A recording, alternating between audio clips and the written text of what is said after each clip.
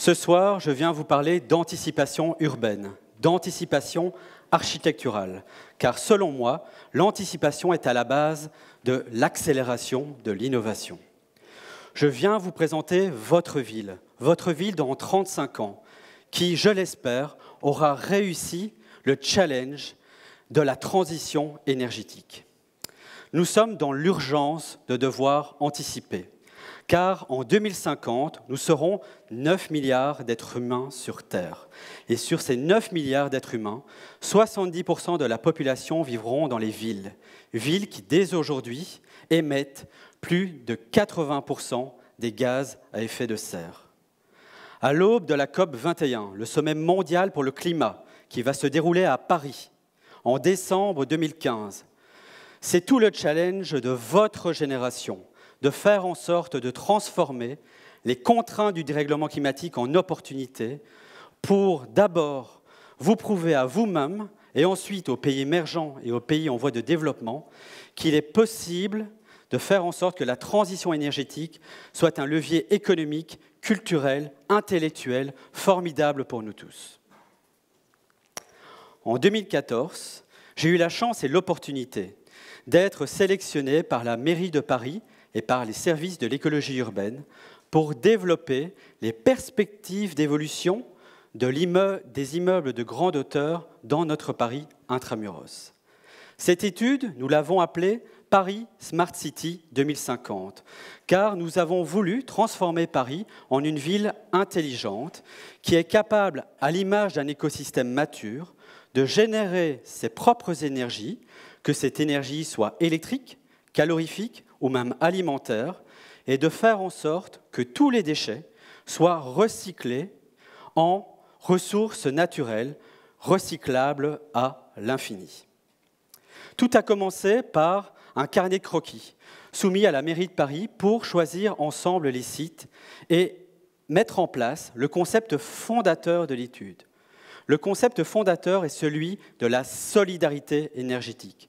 Faire en sorte que dans les 35 prochaines années, les architectures contemporaines vont pouvoir générer toute l'énergie dont l'architecture historique a besoin pour assurer cette ville post-carbone, post-fossile, post-nucléaire et même post-insecticide.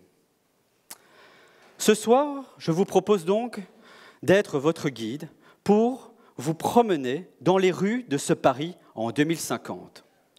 Comme tout bon guide touristique, je vous propose d'aller directement au cœur de Paris, sur l'île de la Cité, et de rejoindre les chimères et les gargouilles de notre belle cathédrale, Notre-Dame. Depuis le sommet de la cathédrale Notre-Dame, vous pourrez découvrir la skyline revégétalisée de notre ville. Une végétation luxuriante qui n'est pas une végétation cosmétique, mais véritablement une nature nourricière, une nature qui va transformer notre urbanisme en une architecture comestible, proposant à chacun d'entre vous d'être le cultivateur de votre propre consommation alimentaire biologique. Cette végétation a pour but également de lutter contre ce que l'on appelle le phénomène d'îlot de chaleur urbain, qui fait qu'à un instant T, nous avons toujours une température supérieure de 5 à 10 degrés au cœur de Paris par rapport à sa périphérie. Cela est dû à l'imperméabilité du bâti, à sa minéralisation. En proposant de végétaliser la ville, nous pourrons impacter l'augmentation de 2 degrés de température qui va euh, s'abattre sur Paris d'ici 35 ans pour mieux lutter contre les phénomènes de canicule et les phénomènes de forte pluie qui seront de plus en plus récurrents. Descendons de la tour de Notre-Dame pour rejoindre la Seine. Promenons-nous jusqu'au jardin des Tuileries pour arriver rue de Rivoli. Rue de Rivoli, où des montagnes végétales viennent s'enraciner sur le tissu haussmanien pour tripler l'offre de logements du tissu historique. Car effectivement, nous voulons réinventer Paris loin des chimères de la muséification et de la gentrification. Ces tours montagnes dressent leur bouclier photovoltaïque et thermique le long de la course du Soleil pour générer toute l'électricité et l'eau chaude sanitaire dont les habitants auront besoin. Enfin, ces tours sont recouvertes de jardins potagers individuels et de, vergers communautaires pour bioclimatiser l'effet d'îlots de chaleur urbain. Continuons le, le, long de la rue de Rivoli, tournons à gauche vers la place de la Concorde et continuons le long de la Seine pour arriver au pont aval de la ville de Paris. Ce pont aval est l'un des deux franchissements du boulevard périphérique au-dessus de la Seine. Nous voulons véritablement réenchanter ce pont en le transformant en un jardin amphibien qui se développe aussi bien au-dessus de la surface de l'eau que sur la surface de l'eau elle-même. Ce pont est entrelacé entre deux tours jumelles, une tour de bureau et une tour de logement, qui, par leur mixité, présentent un système cogénératif énergétique où, par exemple, tout le réseau de chaleur ou de frigorie qui est développé en journée dans l'espace de bureau est retransmis dans les espaces de logement en début de soirée par un système de ventilation double flux, afin simplement de diviser par deux la facture énergétique du projet. Ici, l'énergie électrique est générée principalement par des hydroliennes qui sont directement designées dans les piles du pont et qui transforment l'énergie cinétique de la Seine en électricité. De plus, les tours sont perforées par des nombrils qui, dans l'axe des vents dominants est-ouest de la ville de Paris, viennent également générer toute l'énergie nécessaire pour que ces tours jumelles soient autosuffisantes en énergie. Je vous propose maintenant d'emprunter le petit bateau Physalia qui est inspiré de la structure d'un pneumatophore marin pour se diriger vers le quartier latin. Quartier latin où je vous invite à aller déjeuner devant le Sénat au Jardin du Luxembourg. Jardin du Luxembourg où nous pourrons découvrir la tour Montparnasse transformée véritablement en un véritable Central Park à la verticale, un parc public rabattu verticalement, ouvert 24 heures sur 24, qui proposera aux Parisiens de redécouvrir la skyline de Paris à travers des jardins suspendus. Tous ces jardins suspendus sont soutenus par une robe, une résie de bioréacteurs d'algues vertes qui propose de transformer directement sur le site tous les déchets organiques solides et liquides rejetés par la tour en les transformant en un réseau de chaleur et en un réseau électrique pour rendre ce symbole de l'architecture des années 70 hyper énergivore complètement autosuffisant en énergie. Pendant que nous parlons de cette architecture des années 70, nous pouvons également nous intéresser au 13e arrondissement, qui est principalement marqué par le quartier des Olympiades et le quartier de l'ensemble Masséna. Ce quartier, nous voulons le revitaliser en un, véritable espace maraîcher, où effectivement, nous invitons chaque habitant à aller cultiver ses tomates, ses fruits et ses légumes sur des balcons individuels qui sont inscrits dans l'extension de chaque appartement. Ici, ces tours sont enrobées d'une résille en bambou qui vient intégrer des éoliennes tripales ou des éoliennes axiales sur les toits. Alors que, au point de mire de la perspective, nous avons la tour abeille qui reçoit une centrale thermodynamique. Centrale thermodynamique qui vient converger tous les rayons du soleil qui sont retransmis par des paraboloïdes hyperboliques situés sur les toits en zinc de Paris et qui permet au 13e arrondissement d'être à énergie positive, c'est-à-dire un quartier qui produit plus d'énergie qu'il n'en consomme, redistribuant cette plus-value énergétique aux bâtiments haussmanniens voisins par une smart grid. Une smart grid, c'est simplement un, Internet de l'énergie qui permettra à chaque bâtiment d'échanger les calories, les frigories, l'électricité, l'alimentation qu'ils produisent entre eux, comme si, au lieu d'échanger vos informations personnelles sur Facebook, vous échangiez avec les autres copropriétés voisines ce que vous produisez dans ces bâtiments intelligents. Je vous propose maintenant de continuer le parcours en passant sous le tunnel de la petite ceinture que vous voyez en bas à gauche de l'image et qui, nous mènera un peu plus loin dans le 14e arrondissement au pied du parc Montsouris. Parc Montsouris où les murs de soutènement viendront se réouvrir sous forme de bogues en bois accueillant des commerces relatifs au euh, marché équitable, des ateliers pour artistes et qui seront euh, plantés avec des tours anti-smog des tours anti-smog qui, comme leur nom l'indique, luttent contre le nuage photochimique de pollution qui recouvre Paris, notamment à chaque printemps, depuis maintenant une décennie. Ces tours, effectivement, embarquent des nanotechnologies, comme le dioxyde de titane, qui provoquent, par un effet photocatalytique, la neutralisation des particules de plomb, des particules d'azote, des particules de CO2 qui sont présentes dans l'air. Ces tours également viennent biopurifier la terre de la petite ceinture par l'action des plantes et viennent produire l'énergie électrique nécessaire à l'éclairage artificiel des espaces de tunnels qui viennent ponctuer le tracé des 32 km de la petite ceinture. Continuons toujours sous le, sous le tunnel pour arriver directement vers les buts de Chaumont, vers le nord de Paris, et vers la Porte des Lilas.